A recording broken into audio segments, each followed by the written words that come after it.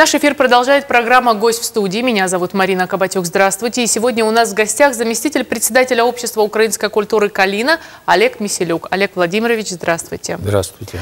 Олег Владимирович, ну, главная новость последних дней – это, конечно же, события на Украине, события в Крыму. А, вот вы, как человек, имеющий непосредственное отношение к этой стране, скажите, вы вообще допускаете ту мысль, что на Украине может начаться настоящая война? Ну, оценивая информацию, которая поступает из Украины в средствах массовой, из средств массовой информации и из э, других источников, например, газета «Известия», интернет. Я думаю, что сегодня уже события развернулись так, что если дальше будет продолжаться вот такое противоборство, то, конечно, могут быть плохие последствия. Сегодня э, силы, которые сосредоточены в городе Киеве, они продолжают действовать на Майдане. Несмотря на то, что избрано якобы э, значит, правительство Украины, кстати, правительство Украины избиралось на Майдане – и э, обрел свою должность новый глава Верховной Рады, он же сегодняшний президент Украины, конечно,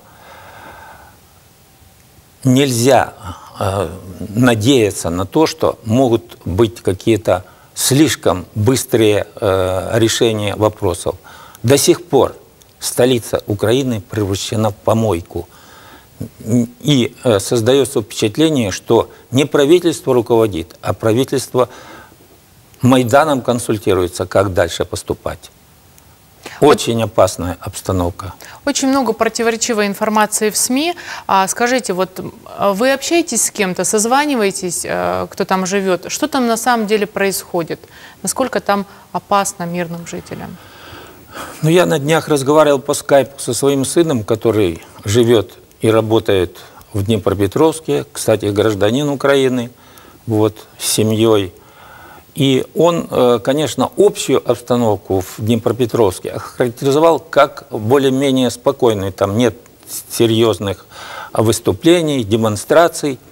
Но, тем не менее, по городу э, значит, расхаживают э, группы вооруженных в гражданской одежде людей, которые представляют представляется майдановцам и при попытке э, граждан э, каким-то образом воспрепятствовать их деятельности, конечно, эти граждане повергаются. Но пока что смертельных случаев не было. А группы ходят по э, различным мелким предприятиям, учреждениям и конторам и добывают деньгу, желательно в американской валюте. Mm-hmm.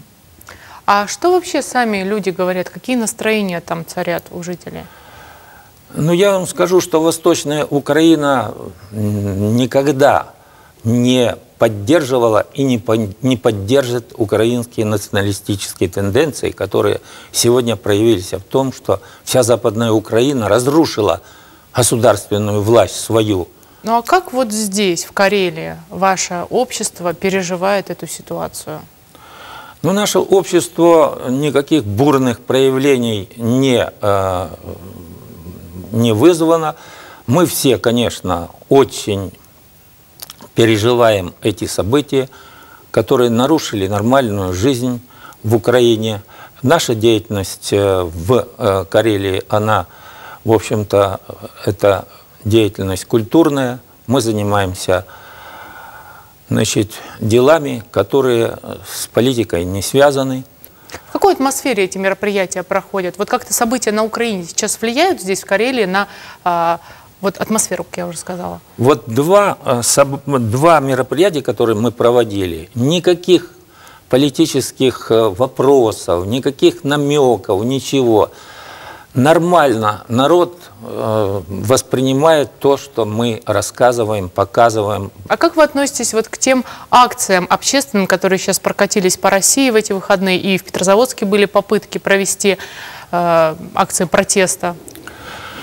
Ну, я э, про акции протеста, честно говоря, не слышал. А вот про акцию, которая показана значит, на нашем э, республиканском сайте, это три или четыре молодых человека с лозунгом объявили себя э, значит, э, защитниками Майдана.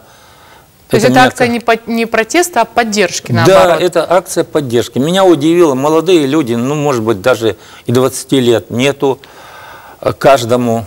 А вот такая, такой большой лозунг. Правда, все было тихо, спокойно, и никаких э, громких заявлений они не делали, кроме того, что было написано на большом плакате, таком лозунге. Вот. Ну, я считаю, что в Петрозаводске э, нужно э, поддерживающие акции, наверное, и мы, конечно же, э, сможем принять в них участие. Это, наверное, не просто голосом поддержать Украину, а, наверное, э, могут быть даже такие гуманитарные мероприятия. Вот чем еще мы можем поддержать? Вот, ни для кого не секрет, что действительно в Карелии очень много людей, которые имеют какие-то корни, родственные, дружественные связи с Украиной. Вот у меня у самой фамилия Кабатюк, э, то есть по линии мужа, мои корни там, на Украине. Как мы можем помочь? Ну, в самом э, крайнем случае мы можем их принять к себе, тех людей, которые окажутся в состоянии, когда невозможно оставаться э, в месте, может быть, рождения или э, после того, когда они переселились из России в 90-е годы, например.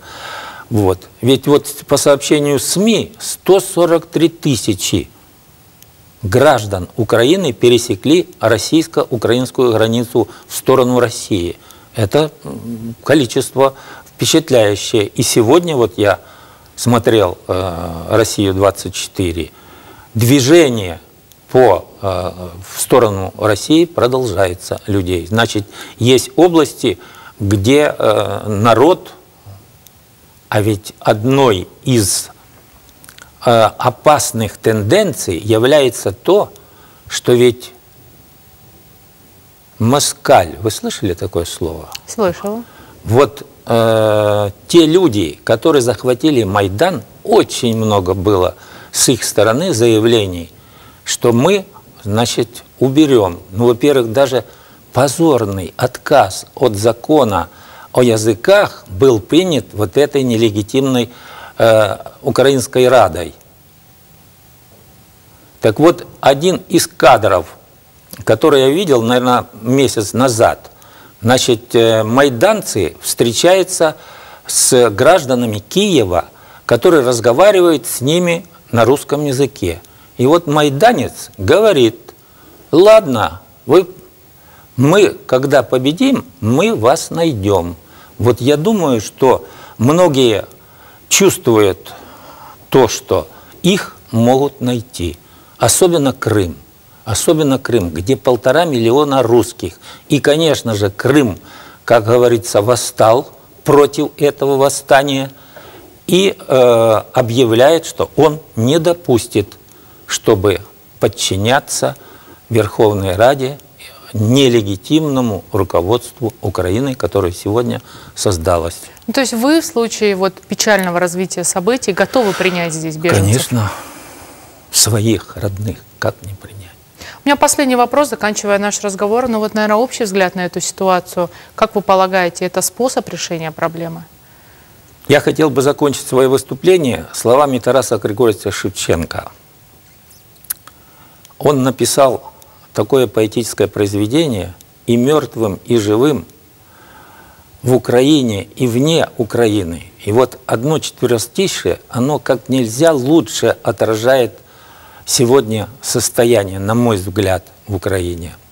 Доборолась Украина до самого края.